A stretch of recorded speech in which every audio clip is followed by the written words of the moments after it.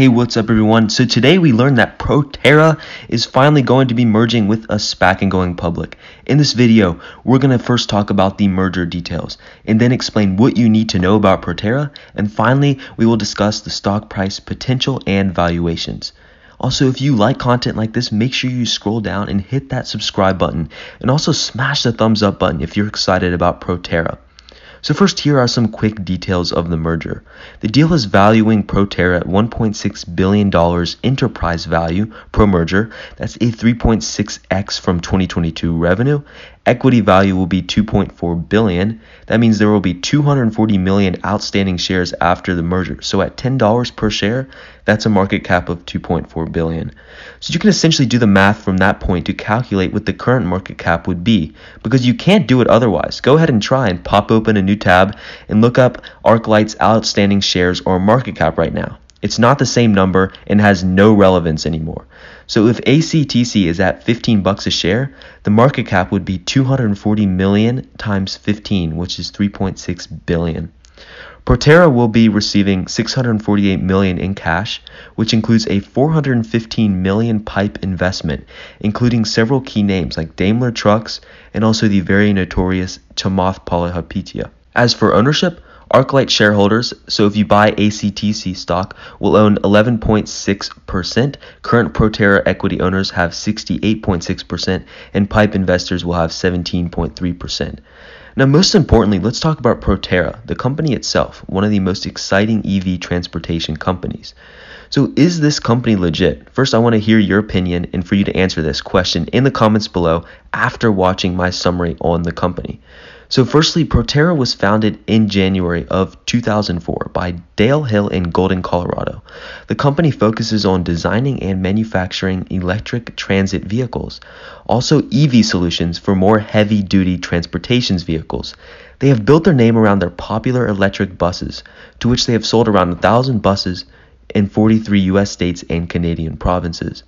They also have been executing their goal of reducing emissions, to which they have prevented more than 27.5 thousand tons of greenhouse gases from being emitted. So here's some rapid fire facts on the company's development. After four years of development, in November of 2008, Proterra debuted its first bus called the Eco Ride. Then in January 2009, it sold its first bus. In January 2011, they opened their first factory in South Carolina. They continued growing through 2011 and 2012. In January 2013, they introduced the Catalyst FC bus, which offered fast charging. In 2013, they reached 50 buses total sold. They continued growing, and in February of 2015, they released the Catalyst XR, which was an extended range bus. In October 2015, they moved their HQ to Silicon Valley, and in December of 2015, they reached 100 total buses sold. In September of 2016, they introduced the Catalyst E2, which set new records in range. In May of 2017, they initiated their autonomous bus program. In June of 2017, they became recognized by Global Charging Standardization Organization as the first North American EV bus manufacturer. And they also closed a Series 6 round of $55 million in capital raised.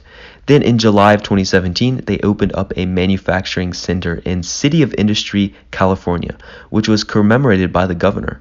And in August, they entered the airport market by selling buses to RDU Airport. In September, the Catalyst E2 set a world record of 1,101.2 miles of distance on one charge by any electric vehicle. Then, in October of 2017, they released the Duo Power drivetrain, which gave the Catalyst bus twice as much horsepower and acceleration, and five times as much efficiency compared to diesel buses. In, in December, Yosemite became first U.S. national park to purchase from Proterra. Also in December, they expanded their sales to more than 60 city, university, airport, and transit company customers. And in January of 2018, they are named North American Company of the Year. In May of 2018, they introduced a new EV charging tech, and in June, they entered the Canadian market. In September, they closed a 155 million investment from Daimler Tao Capital, G2VP, and others. They also introduced the Proterra Apex, which is an intelligence vehicle system. In October of 2018, they introduced the electric school bus. In April of 2019, they reduced their cost margins for batteries to be similar to diesel buses. In May of 2019, they announced Proterra Energy Fleet Solutions for heavy duty vehicles. And also in May, they announced a partnership with Michelin for an EV bus tire. Then in September of 2020, just a few months ago, they unveiled the ZX5, which is the fifth generation version and has the longest range of any 40 foot electric bus. And recently, in October of 2020, they announced a 150 million investment from Cowen Sustainable Investors and 50 million total from Soros Fund Management, Generation Investment Management, and Broadscale Group, which totals 200 million. So, whew, that is a super condensed summary of Proterra's development and growth since its inception. And you can see they've been growing powerfully and have been innovating consistently. And talking about innovation, they have done a remarkable amount of it. They have acquired engineers from companies like Tesla, Ford, GM, BMW, and Daimler. They also design and manufacture their own batteries in Silicon Valley and have created their own more efficient drivetrains and powertrains with proprietary charging systems and have also worked with Michelin to design their own tires. And as many of you know, batteries are incredibly heavy, so they have been able to design a very light body that is strong but also allows more battery weight so it can have longer range. And their battery packs also have intelligent capabilities and a proprietary management system that adjusts energy reserves to maximize range. That sounds pretty cool to me.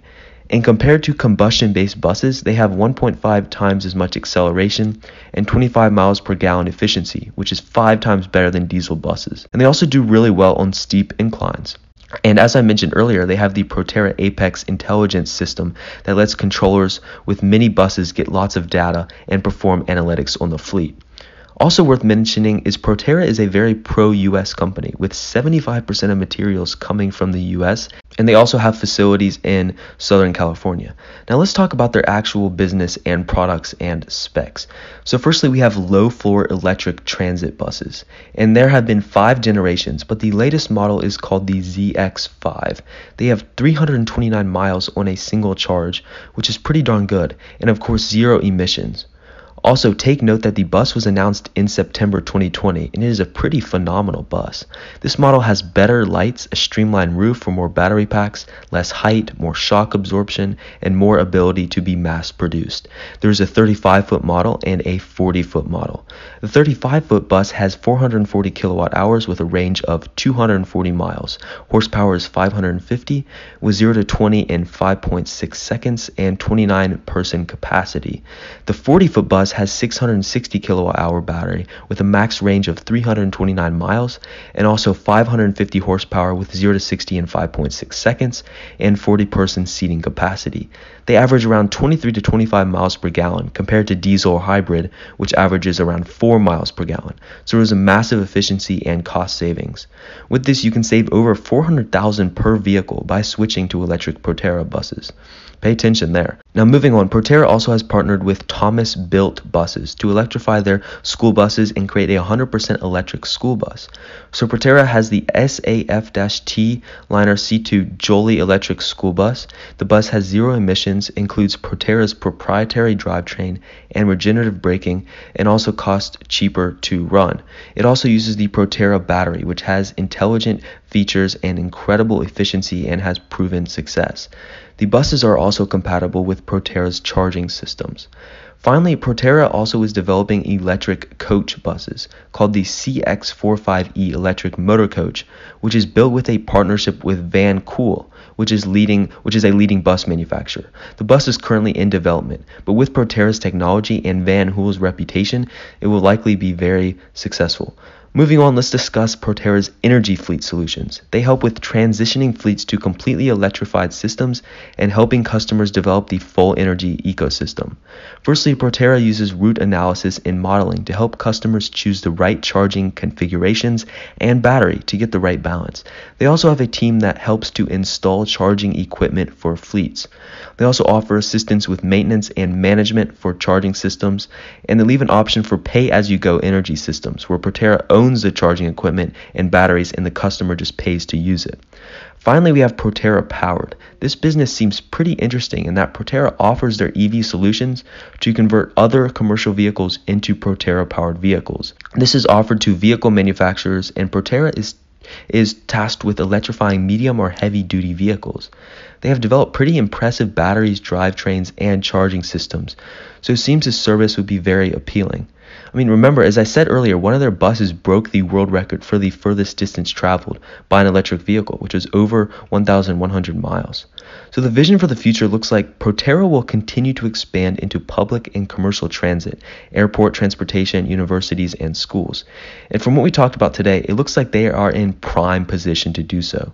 So going back to my earlier question, do you think Proterra is a legit company?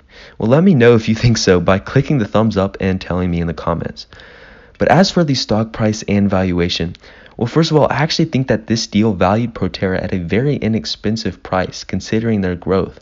The company is growing at a very strong 68% CAGR or compound annual growth rate and will be making around 250 million this year, which is going up to 2.6 billion by 2025.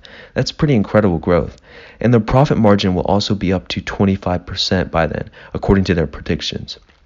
So normally with some companies pre-revenue, whether it be Arrival or Lordstown, when the stock might be way overvalued, I actually think Proterra is worth a premium considering the deal is valuing them at 2.4 billion equity value. So if ACTC stock runs up to 20 bucks a share or 30 bucks a share, I would not be surprised. Proterra seems to be worth the hype. But that's it for today. Thanks so much for watching. Please consider hitting that subscribe button and liking the video if you enjoyed, and I'll catch you next time.